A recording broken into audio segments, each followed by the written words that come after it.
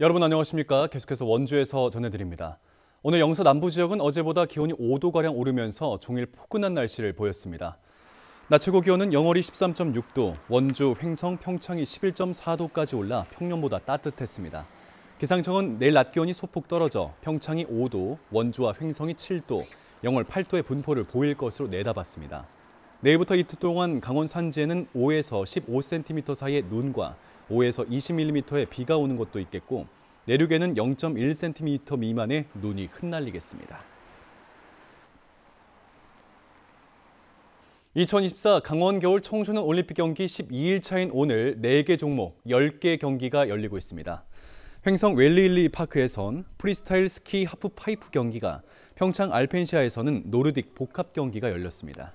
강릉에선 컬링과 아이스하키 경기가 열리고 있습니다.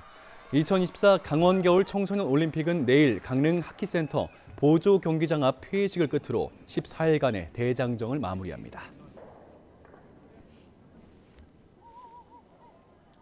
평창군이 2024 강원 겨울 청소년 올림픽 대회를 위해 방한한 국제올림픽위원회 IOC 위원들을 초청해 연찬회를 가졌습니다. 토마스 바흐 위원장을 비롯해 심재국 평창군수, 2018 평창기념재단 유승민 이사장, 2018-2024 대회 출전 선수들이 참석한 가운데 친목과 교류의 시간을 가졌습니다. 참석자들은 2018 평창 동계 올림픽 이후에 평창 올림픽 유산 사업 소개와 성과, 전망을 듣고 올림픽 기념관을 관람했습니다.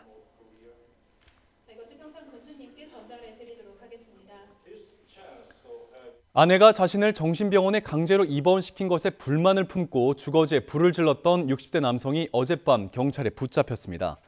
이 남성은 어제 오후 5시 40분쯤 아내와 함께 사는 평창군 미타면 소재 주거지에 불을 질렀고 이후 영월로 도주했다 5시간 20분 만에 경찰에 긴급 체포됐습니다. 범행 당시 아내는 남편과의 다툼으로 주거지를 떠나 다른 지역에 있는 가족의 집에 머무르고 있어 화를 면한 것으로 알려졌습니다. 경찰은 이 남성을 현주 건조물 방화 혐의로 입건하고 구속영장 신청 여부를 검토하고 있습니다.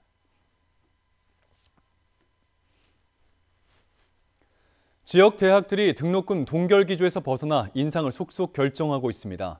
강릉 원주대, 연세대 미래캠퍼스, 한라대, 강원대 등은 올해 등록금을 동결하기로 했지만 경동대는 3.75%, 상시대는 3.5%로 소폭 인상하기로 했습니다. 고물가의 고정비용은 상승하는데 학령 인구 감소와 정원 축소 등으로 재정난이 심화되고 있기 때문으로 분석됩니다.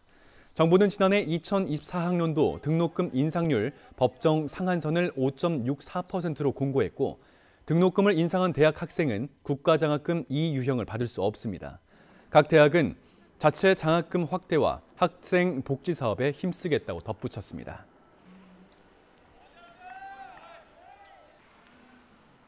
원주시청 로비에 지역 기부 문화 확산을 위한 기부자 명예의 전당이 설치돼 운영에 들어갑니다. 원주시 기부자 명예의 전당에선 고액 기부자 모임인 아너 소사이어티 회원과 나눔 명문 기업, 천사운동 기부자 등 나눔을 실천한 시민들과 그 단체의 정보를 확인할 수 있습니다. 명예의 전당 설치에는 모두 1억 3천만 원이 투입됐고 카드, 각종 페이, QR코드 등 다양한 방법으로 기부에 참여할 수 있는 시설도 설치됩니다. 원주시는 다음 달 5일 주요 기부자들이 참석한 가운데 공식 제막 행사를 연다는 계획입니다.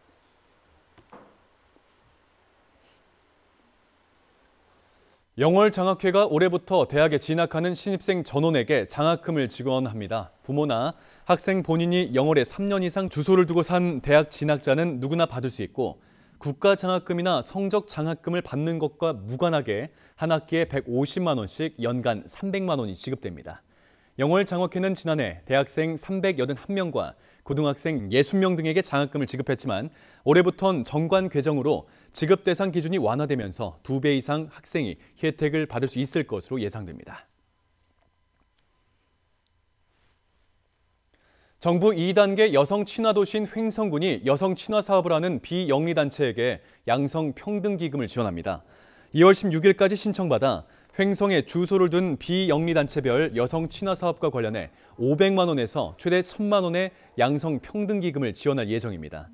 2020년 말 여성가족부 2단계 여성 친화 도시로 지정된 횡성구는 2025년까지 인증받고 향후 3단계에도 도전할 계획입니다.